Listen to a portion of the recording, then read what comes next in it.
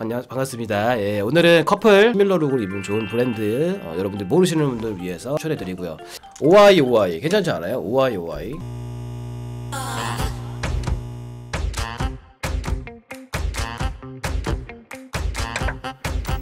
오아이 오아이 우리랑 좀 스타일이 다르거나 저랑 스타일이 달라서 그렇지 오아이 오아이 커플로 입으면 귀엽지 특히 후드티 같은 거 어, 부분적인 컬러감이 되게 톡톡 튀어서 어, 여성분들이 좋아해서 남성분들도 자동으로 좋아지게 되는 그런 옷들이 많아요 preppy look인데 되게 캐주얼한 프레피룩으로 많이 들어가고 18SS로 한번 볼까요? 뭐 예를 들어서 나이 그 다음에 환경 에 따라서 어울리는 사람이 있고 필요한 사람이 있으니까 하는 거예요. 네, 그러니까 좀 스펙트럼을 넓게 잡는 거예요.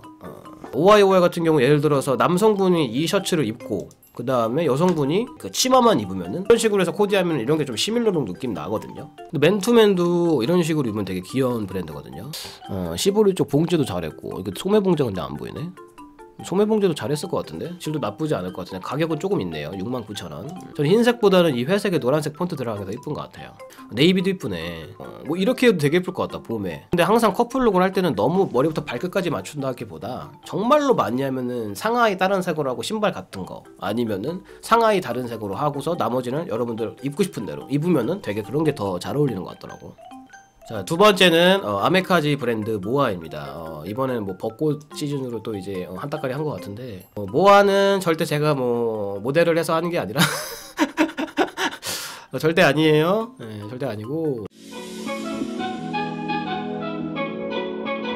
어떻게 나오냐면은 모아가 이렇게 나와요. 이렇게 예를 들면은 뭐 네이비 컬러 셋업으로 가면 뭐 세트를 다 할 필요가 없이 좀 이런 식으로 이제 착장 같은 거나 키나 이런 거 비교하시면서 참고해서 사이즈 맞추시고요. 이런 식으로 해도 좋아요.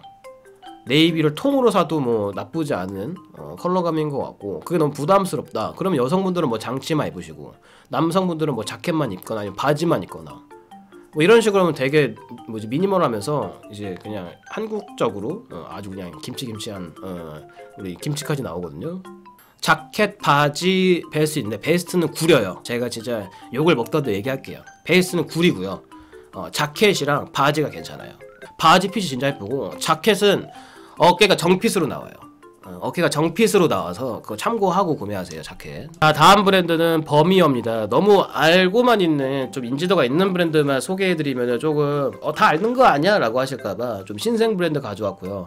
버밀은 2018년도인가 17년도에 SS로 나온 걸로 알고 있고요. 예를 들면은 뭐 코트도 있고 뭐 스커트도 있는데 뭐 예를 들어서 남성분은 이렇게 바지를 입거나 이렇게 베이지색 바지를 입고 여성분들은 뭐 치마를 이렇게 입는다던가 뭐 베이지색 치마 아니면 자켓 같은 거 하나 걸쳐주면은 이렇게 연결되면서 시밀러룩으로 괜찮을 것 같아요. 이런 것도 귀엽다. 예를 들면 패치 반팔티 이런 거 이런 거 되게 무난하잖아. 그래서 요런 거 하나 입어주고 위에 서로 블레이저 자켓 하나 입어주는 거지. 여러 가지 이제 코디 방법이 있으니까 여러분들이 센스 있게 한번 맞춰보시는 것도 나쁘지 않을 것 같아서 준비한 브랜드고 스커트 같은 경우 굉장히 특이해서 여러분 여성분들이 좋아할 것 같아요. 다음은 무인양품입니다. 무인양품의 장점은 무지 무인양품 같은 경우에는 백화점마다 다 들어가 있어서 여러분들이 입어보고 좀 더 접근성이 더 좋다는 거죠 근데 무인양품 같은 경우는 일본에서 구매하시면 더 30% 정도 싸게 구매할 수 있고요. 무인양품은 진짜 가서 입어보면은 생각보다 이쁜 게 많아요. 근데 단점은 어, 사이즈가 좀 작게 나와요. 생각보다 작아요. 그래서 저는 무인양품 좀 안 맞긴 한데 좀 몸이 슬림하신 분들은 가시면 되게 여자분들이 입기 좋을 거예요. 왜냐면 솔직히 얘기해서 무인양품은 남자 거보다 여자 게 이쁜 게 훨씬 많아요. 분위기가 일단은 감성이 애져요. 일단은 가습기가 나오고 있어요. 10만원짜리 그, 그 디퓨저 가습기가 나와요 흥 나오고 거기에 볼펜 팔지 공책 팔지. 그럼 여자분들 눈 돌아갑니다 이렇게. 와 공책 이러면서 막 진짜 감성에 취하셔가지고 막 거기 막 베개 같은 거 보시고 막 접시 냄비 이런 거 보면서 막 진짜 심플하게 예쁘게 나오거든요. 거기서 막 결혼 생각하시고 막 이러세요. 근데 딱 이제 옷 보면은 와 옷도 되게 예쁘게 나오거든. 그래서 여기서 되게 코디하시면은 좋을 만한 게 이제 찾아야 돼요.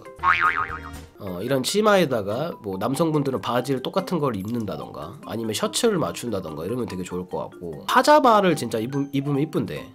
파자마 어디 들어갈 거냐? 이거 파자마 하면 되게 예뻐. 둘이 같이 이제 커플로 옷 입잖아? 그러면 되게 이쁘고. 어, 홈페이지를 똑같이 만들어가지고. 소개를 할 수가 없네 무인양품은. 이거 너무 이상하게 만들었어요 진짜로. 안 할게요 무인양품은.